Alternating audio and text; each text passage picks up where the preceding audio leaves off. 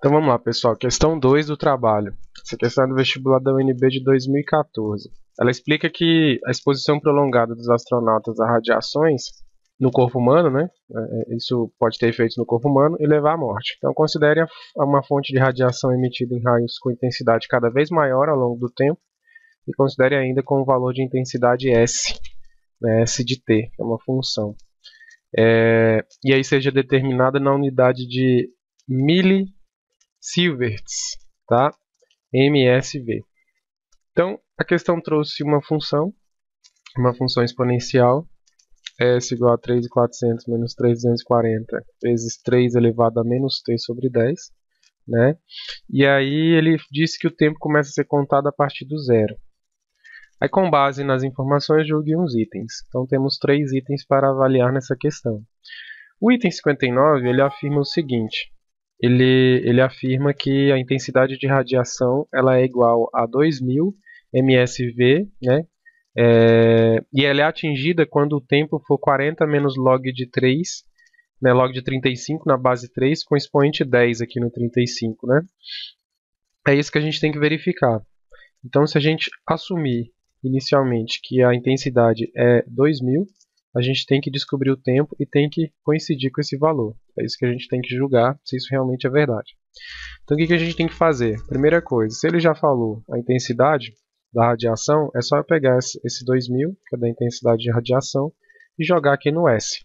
Então se a gente fizer isso na fórmula, eu vou ficar com 2000 igual a 3.400 menos 3.240 vezes aquela potência. Note que menos t sobre 10 pode ser escrito como 0,1t, já que 1 dividido por 10, né, o coeficiente aqui do t é 1, então 1 dividido por 10 é 0,1. Então tanto faz eu trabalhar com t sobre 10 como eu trabalhar com 0,1 negativo. É a mesma coisa. Então aqui eu posso passar todos os termos que não tem letra para um lado só, né, os termos que não estão acompanhando aqui a minha função, né, meu t, e aí eu vou obter o seguinte, se eu passar esse 3,400 para o primeiro membro, eu vou, vou acabar subtraindo e vai dar um valor negativo. Né? Note que o 3,200 aqui também é negativo. Então, quando eu passar esse termo para cá, daria menos 1.400, eu ficaria com negativo dos dois lados, que multiplicando por menos 1 fica todo mundo positivo. Então, subtraindo aí é, 2.000 menos 3.400, 1.400, né, negativo, multiplicando por menos 1 dos dois lados, fica todo mundo positivo. Agora, notem o seguinte, que eu tenho aqui o 3.240 multiplicando o meu 3 com expoente t. Tá? Então, a minha ideia é descobrir o valor do tempo. Então, essa parcela aqui ela tem que ficar isolada. Então, esse 3.240 que está multiplicando, ele pode passar para baixo dividindo aqui o 1.400. Se eu fizer isso, é, vai ficar 1.400 dividido por 3.240. Eu posso cortar um zero, ficaria 140 dividido por 324. E se eu simplificar isso aí, eu vou obter 35 sobre 81. Então já melhorou muito aqui a minha, a, os meus termos. Né? Quando a gente for, no, no intuito aqui é de encontrar o tempo, então para derrubar esse t aqui, a ideia é aplicar log em ambos os lados. Tá? Só que aí eu não vou aplicar somente o log na base 10, porque olha só, se vocês observarem aqui no enunciado, no, item, ele já traz um logzinho de 3. Então eu vou usar a esperteza aqui, a malandragem, de aplicar em ambos os lados o log de 3 e não o log na base 10, tá? Porque aí eu já vou cair aqui, ó, do jeito que ele está querendo, que sugere que seja a solução. Então eu vou aplicar log de 3 em ambos os lados, log na base 3 em ambos os lados. Se eu fizer isso, eu vou ficar com log de 3 aqui na parte esquerda, log de 3 aqui do lado direito. Lembrando que aqui eu tenho log de 35 sobre 81 na base 3. Tá? Isso aqui eu posso quebrar isso numa, em dois logs subtraindo. Né? O log de 35 na base 3 menos o log de 81 na base 3. Do lado de cá, quando eu aplico o log de 3 na base 3, eu posso tombar esse expoente, menos 0,1 vezes o tempo, e o log de 3 na base 3 ele vira 1, né, porque é um log do número na própria base. Então com isso, é, quando eu tombar vai ficar log de 3 na base 3, que é 1, então vai ficar só o 0,1 negativo vezes o tempo. E do lado de cá eu vou ficar com log de 35 na base 3 menos 4. Esse 4 ele surgiu quando a gente pega aqui o log de 81 na base 3. Fazendo as continhas, o log de 81 na base 3 é 4, fatorando aí 81, né? E aí o que, que eu devo fazer agora? Notem que eu preciso encontrar o tempo. Então eu preciso isolar esse t. Então esse 0,1 aqui, eu posso fazer o seguinte, passar ele dividindo. Posso passar esse termo aqui dividindo. Então olha só, se eu passar o 0,1 negativo, ele vai ficar dividindo o log de 35 e aqui o 4. Só que quando eu pego 0,1 negativo e divido por 4 aqui, ou seja, eu pego 4 e divido por, por menos 0,31, isso dá 40, porque o 0,1 é a mesma coisa de 1 sobre 10. Né? Aí eu inverto e multiplico, fica 40. Tá? E como ele era negativo de cá e o 0,1 também é negativo, fica 40 positivo. Agora, o segundo termo aqui, ó, a segunda parcela, que é a do log de 35, é, eu tenho positivo aqui, negativo aqui. Isso vai ficar negativo. E o meu menos 0,1 aqui embaixo dividindo, eu posso transformar isso em fração, e aí aqui esse 0,1 ele vai ficar 1 sobre 10, que invertendo ele passa a multiplicar aqui o log. Ó. Vai ficar log 10 vezes o log de 35 na base 3. E toda vez que, a princípio está diferente ainda do que trouxe aqui a questão, né? Está tá diferente porque aqui eu, eu tenho log de 35 na base 3 elevado a 10 que, que acontece? Toda vez que eu tenho um log aqui, ó, um termo multiplicando o log, significa que ele era um expoente aqui do logaritmando e eu tombei. Então, toda vez que eu tiver um número aqui, eu posso voltar ele para o logaritmando. Então, aqui esse 10 que está multiplicando o log, eu posso voltar ele aqui para cima do 35 e aí vai coincidir com o que a questão trouxe para mim, que é 40 menos log de 35 na base 3 e o 35 aqui com o expoente 10. Tá? Aí coincide, então esse item está correto. O próximo item, que é o 60, ele diz o seguinte: em algum momento a intensidade de radiação irá superar 40.000 MSV. Então, em algum momento, ele quer saber se em algum valor do tempo né, existe a possibilidade de que a intensidade da radiação vai ser maior do que 4.000. MSV. O que a gente tem que fazer então?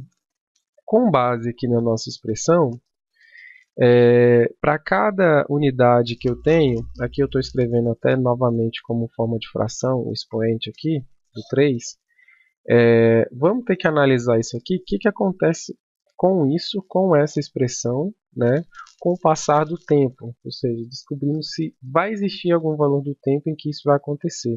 Tá? que vai superar 4 mil. Tá? Eu posso usar um, fazer apenas uma análise aqui do tempo. Esse expoente aqui negativo, esse menos t sobre 10, se eu tenho um número com expoente negativo, significa que esse número eu posso inverter. Né? Na verdade, ele, ele, eu posso transformar ele no seu inverso. Então, esse 3 que está em cima, se ele está com expoente negativo, né, eu posso descer ele. Então eu ficaria com 3,240 sobre 3 elevado a 3, t sobre 10. Agora vamos tentar analisar o que, que acontece com isso aqui. Se eu quero analisar o que, que acontece com isso quando é, para alguma unidade de tempo aí, é só eu verificar o que, que acontece à medida que eu for aumentando esse tempo. E daí a gente vai conseguir concluir o resultado.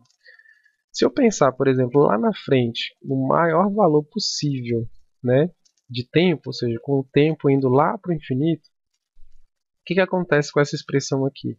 Eu tenho 3,240 dividido por 3 elevado a t sobre 10. O que, que acontece? Quanto mais eu aumento o valor do tempo, maior vai ser esse número aqui de baixo.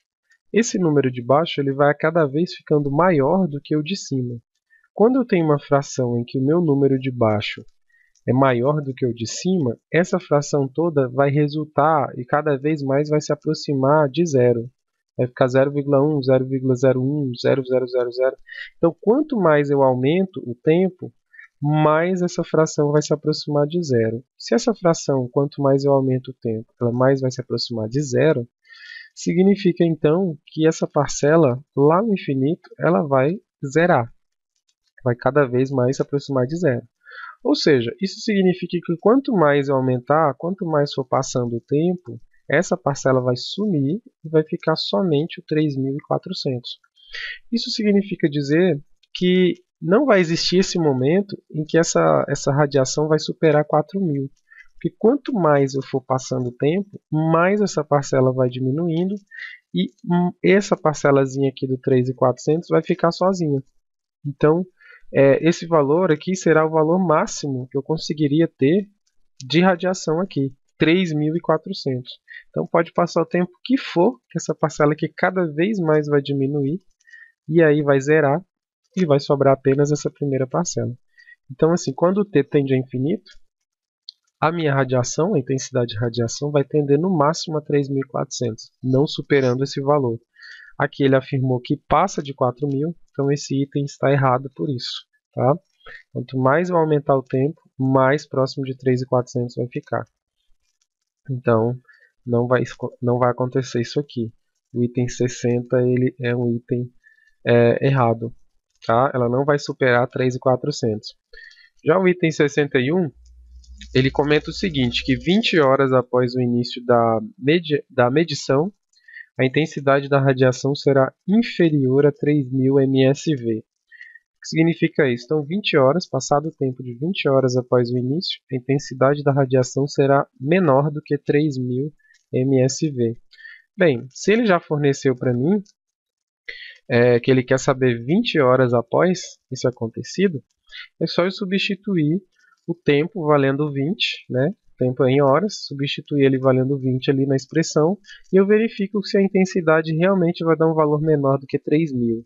Tá? Então, substituindo 20 lá em cima no lugar do tempo, eu ficaria com 20 sobre 10, né? que dá 2.